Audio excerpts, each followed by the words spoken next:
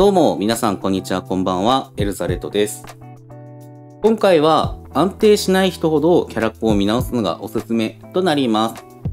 サーモンランをプレイしていると一定のラインで問題になるのがキャラコンです。どんなにいい武器編成が来てもそれを活かすにはキャラコンが必須だと僕自身は考えています。キャラコン一つで意外と鮭の対応力が極まってきますからね。サムラン用のキャラコンがいると思っています。そこで今回はカンストを目指していく上で磨いておきたいキャラコンを紹介したいと思います。キャラコンの必要性とその練習までまとめて紹介していきたいと思いますので最後まで見てもらえると嬉しいです。今後も更新をしていきますので動画を見てチャンネルを応援してくれる方はチャンネル登録と高評価をぜひお願いします。それでは早速解説していきたいと思います。それでは本題からいきたいと思います。ガムランにおいてキャラコンは安定につながります。まず、キャラコンを向上することによって得られる恩恵を上げたいなと思います。1、鮭の攻撃を避けることができる。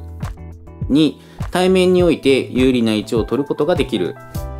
3、少ない足場で生存することができる。大きく分けてこの3つの恩恵を得られます。意外と受ける恩恵は生存につながる要素が多いんですよね。まず1についてですが、鮭の攻撃を避けることが可能となります。雑魚鮭、大物、どちらの攻撃にも言えます。細かい攻撃を避けるためには、メカちゃんを自分の意思通りに動かせるということはとても大事なことです。その中でも爆弾や肩パッドなどの爆風にタワーのハイプレなど少しのキャラコンミスでデスするんですよね。反射神経に近い部分ではありますが、味方に被弾しないように攻撃を誘導しながら避けるのは、それなりのキャラコンが必要です。そのことを考えると、避けるという意味では、キャラコンは非常に大事になってくるわけですね。2つ目に関しては、攻撃を避けながらの移動です。小邪気に追われていたり、状況は様々です。そのような状況でしっかりと敵との距離を保ち、攻撃の隙を作るには逃げるためのキャラコンが必須となります。攻撃に転換するためにもキャラコンで状況を作り出す実力がいるというわけです。そして3つ目の生存です。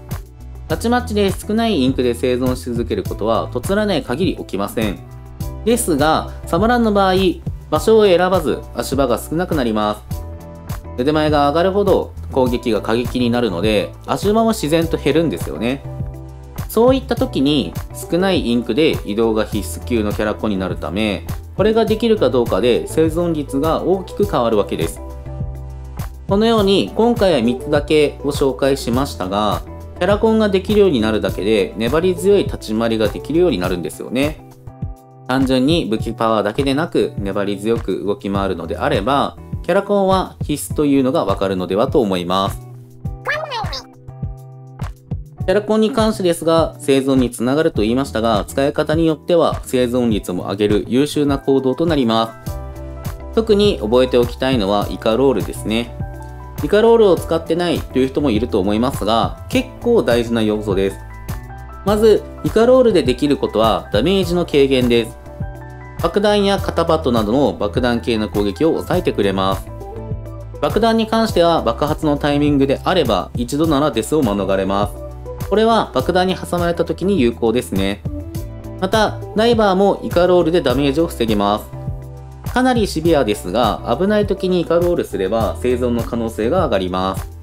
その他にも、ちょっとした攻撃を避けるようにしていれば、普段から被弾を抑えることができるので、とても便利です。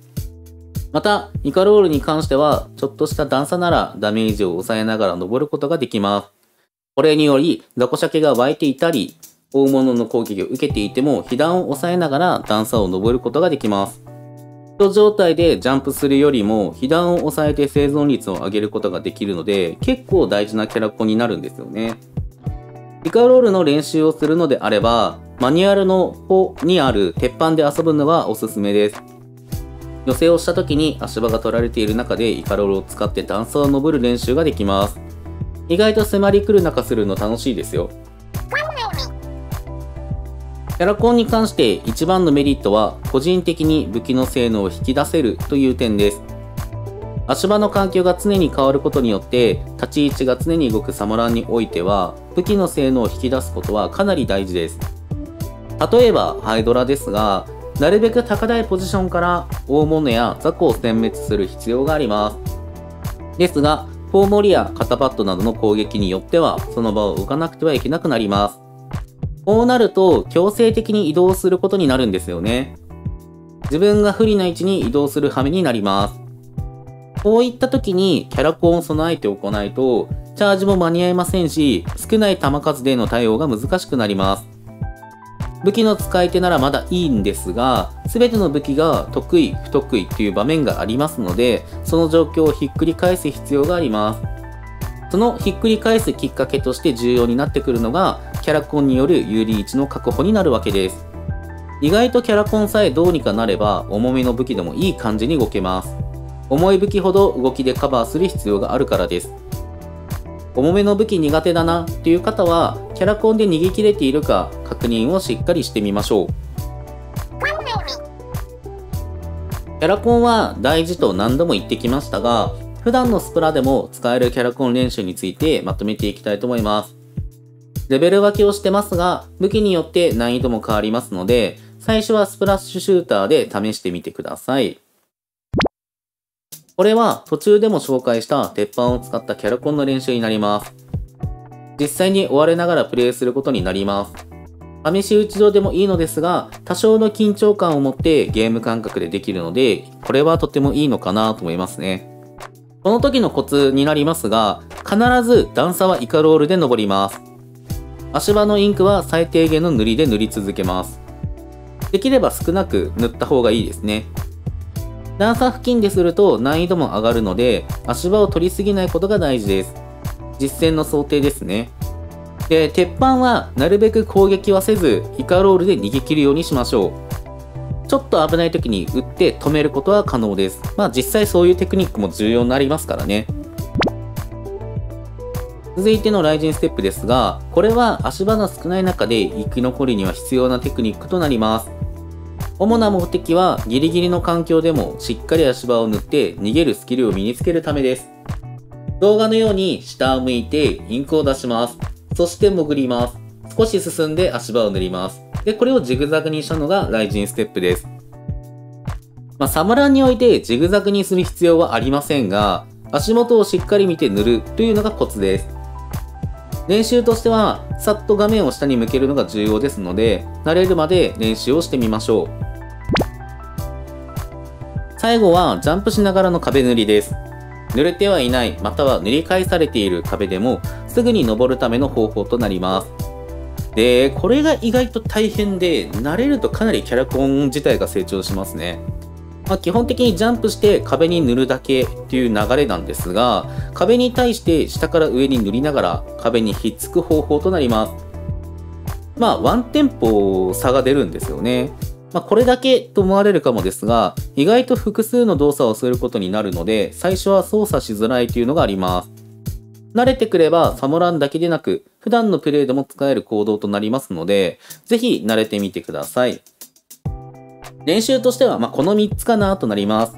少ないと思われるかもですが、あとはこれをどれだけ体に叩き込むかです。実際サモランをしてる場面だとできないですからね。なので、無意識でできるくらいにならないと、ワンテンポ遅れての操作になってきますので、普段から気をつけてみてください。はい、ということで、今回はここまでとなります。安定してない人ほどキャラコンを見直すのがおすすめはいかがでしたでしょうか？サムランにおいて鮭を倒すことは大切なことなんですが、それに並んで状況を作り出すキャラコンも重要な要素と言えます。そのうち慣れるだろうと思っていると、なかなか成長しづらいポイントになってくるんですよね。なので、意識して使ってみることから始めるといいかと思います。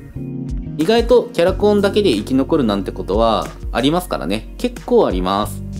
ということで、ご視聴ありがとうございました。チャンネルを応援してくれる方は、チャンネル登録と高評価をお願いします。それではまた次回お会いしましょう。バイバイ。